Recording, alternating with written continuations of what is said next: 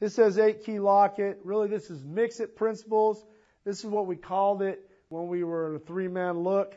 Um, we got real, real wordy. This is just mix it versus uh, a three man look that we talked about. Now, initially, you see a two man look at up at the top. Same look at the clip we just saw.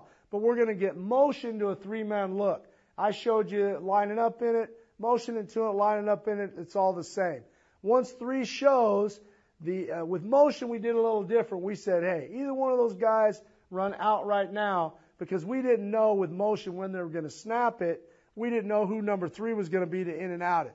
So as soon as we saw motion to three, we just told the co- corner and the safety, you read the inside release of either two or three. Any of them break to the out, you convert right now, drive to it, and break on the ball. Now this is a great video. I love showing this when I'm installing it. These guys wanting to play this. You see the corner now, see the out route. He's going to convert, drive up. He shows up there right when the ball shows up. You get a big hit. The safety now drives over the top of the outside release one. The inside out, uh, the inside linebacker's driving out with the rollout. The outside backer's reading the route progression, sitting in the curl with rollout. He's going to continue widening to flat. This is why you like mix it.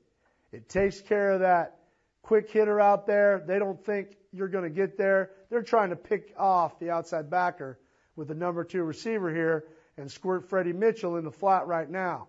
Mix it solves that problem. Bang. Your sideline gets excited. That receiver doesn't want to catch the ball anymore. And the game was won after this play.